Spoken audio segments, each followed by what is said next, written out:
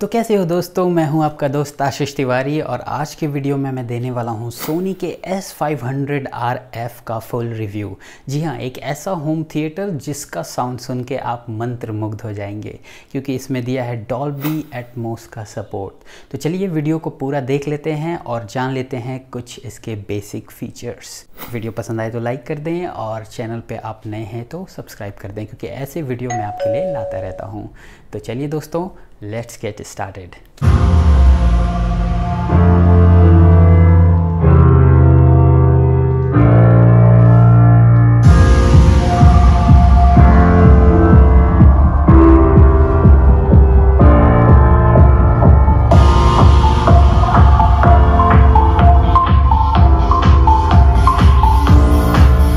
तो ये है मेरा सोनी का होम थिएटर जिसको आज से ठीक एक साल पहले मैंने 32,000 में ख़रीदा था जिसका मॉडल नंबर है Sony H T S five hundred R F इसमें आपको 5.1 चैनल मिल जाते हैं डॉल्बी डिजिटल टेक्नोलॉजी के साथ। तो दोस्तों इस पूरे सिस्टम में आपको मिलता है एक लार्ज वुफर एक थ्री स्पीकर्स वाला साउंड बार और दो सराउंड साउंड स्पीकर साथ ही में आपको मिलता है एक रिमोट और एक एच केबल जिसे आप टीवी में लगाकर भी इस साउंड सिस्टम का मज़ा ले सकते हैं।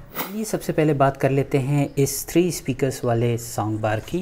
तो इसमें आपको मिल जाता है front left speaker centre speaker and right speaker और साथ ही आपने नोटिस किया होगा कि इसमें एक लेफ़्ट ट्विटर भी दिया हुआ है, साथ ही में आपको राइट ट्विटर दिया है, जो कि आपको एक्स्ट्रा ट्रेबल प्रोड्यूस करके देगा। अब बात करते हैं इन रियर स्पीकर्स की।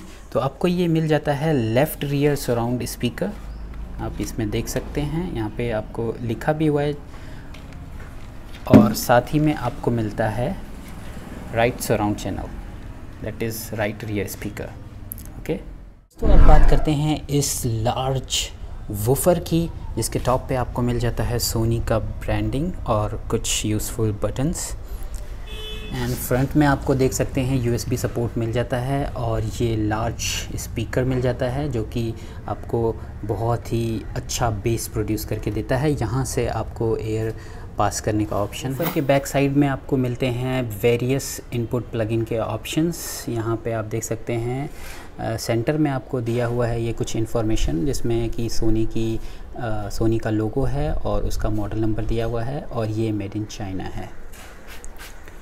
तो चलिए हम अब इसके इनपुट्स के बारे में देख लेते हैं। तो हर एक इनपुट की अपनी कलर कोडिंग दी गई है। ये जो थ्री इनपुट्स के ऑप्शन दिए हुए हैं ये इस बार के लिए है। ये जो थ्री स्पीकर्स वाला बार है, ये उसके लिए दिए हुए हैं। बाकी जो ये दो दिए हुए हैं, ये सराउंड चैनल के लिए है। तो आप ये देख सकते हैं, यहाँ पे साफ़ लिखा भी हुआ है कि ये फ्रंट राइट है। इसका मतलब रेड वाला जो है, आपको वायर रेड वाले इनपुट में लगाना है। सिमिलरली आपको लेफ़्ट वाला लेफ़्ट लेफ़्ट इनपुट में लगाना है, ठीक है? तो हर एक स्पीकर की अपनी कलर कोडिंग है। मैं आपको वायर दिखा देता हूँ इसका। सो ये आप वायर भी देख सकते हैं और इसको बहुत ही इजी होता है इसमें प्लग इन करना। आपको ग्रीन वाला जैसे है, ये सेंटर स्पीकर्स का है तो आप इसको ईज़िली ऐसे लगा सकते हैं। ठीक है? ये आपका, ये साउंड बार का कनेक्शन हो चुका है। ओके? सिमिलरली आप देख सकते हैं कि ये है आपके rear speakers so rear right इसको आप ऐसे लगा दीजिए और ये हो गया आपका रियल लेफ़्ट स्पीकर्स के बाद आप देख सकते हैं यहाँ पे वेरियस इनपुट्स के ऑप्शन मिल जाते हैं, जैसे आई आर रिपीटर हो गया ऑप्टिकल टीवी इन हो गया H D M I A R C का केबल का ऑप्शन मिल गया आपको एनालॉग इन मिल गया। ये जो आयर रिपीटर है इसका काफ़ी बड़ा रोल होता है। जैसे कि आपको ये साउंड बार है आपके टीवी के आ, सिग्नल को अगर ब्लॉक करता है तो उसके लिए ये एक्स्ट्रा वायर दिया हुआ है जो कि आपको सिग्नल पहुँचाएगा। ठीक है? साथ में आपको ये ऑप्टिकल टीवी इन मिल जाता है, जिससे कि आप इस साउंड वूफर को कनेक्ट कर सकते हैं। ई एम ए केबल जो है, इस बॉक्स में आपको मिलता है, जो कि हाई क्वालिटी ऑफ़ साउंड जो है, आपको टीवी के थ्रू इस साउंड बॉक्स में पहुंचाता है। ये आपको एनालॉग इन का ऑप्शन मिल जाता है। यहाँ पे कुछ इन्फॉर्मेशन मिल जाती है, जैसे एच डी एम आई की ब्रांडिंग है Dolby digital audio D T S digital surround sound दोस्तों, एक चीज़ और मैं बताना चाहूँगा कि ये जो रियर स्पीकर्स हैं, इसमें काफ़ी लंबी वायर दे रखी है। ये अप टू 10 टू 20 मीटर्स हो सकती है।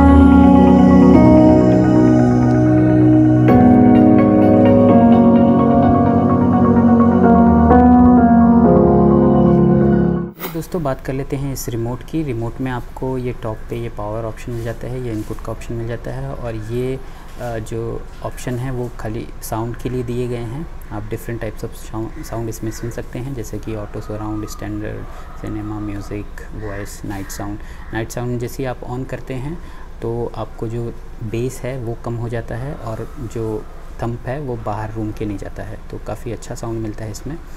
और ये वॉल्यूम का आपको बटन मिल जाता है। ये सब वूफ़र का साउंड है जिससे कि आप अप टू 12 तक सेट कर सकते हैं। आप इसको सब वूफ़र का साउंड जो है, वो कम भी कर सकते हैं।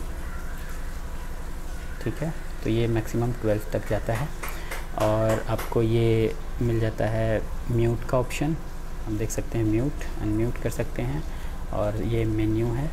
मेन्यू में आप लेवल वन है देन उसके बाद आप ये इंटर कर सकते हैं। इसमें देखिए सराउंड लेफ़्ट और ये 6.0 का ये साउंड का सिस्टम मिल जाता है आपको। ये नेक्स्ट एंड प्रीवियस ये गाने चेंज करने के लिए है। इससे आप बैक बैक जा सकते हैं इसमें। ठीक है? सो so, ये डीमर का जो ऑप्शन है वो जो फ्रंट पे इंफॉर्मेशन दी गई है उसको बढ़ाने घटाने के लिए है। जैसे कि आप देख सकते हैं ये डार्क है और ये ऑफ़ हो गया। और ये आप ब्राइट भी कर सकते हैं इसको।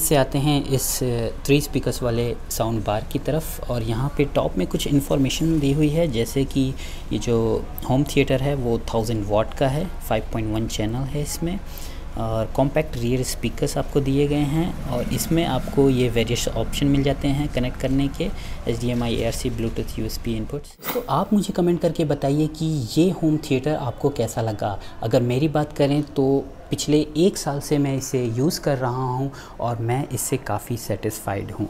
अगर आपको इसकी पूरी डिटेल्स चाहिए तो मैं आपको अमेज़ोन का लिंक डिस्क्रिप्शन बॉक्स में दे दूँगा, वहाँ पे आप इसकी टेक्निकल डिटेल्स दे सकते हैं। और ये साउंड बॉक्स मैं तो चाहता हूँ कि आप इसे ज़रूर परचेज़ करें। अगर आप रियल में Dolby digital true surround sound का एक्सपीरियंस लेना चाहते हैं तो।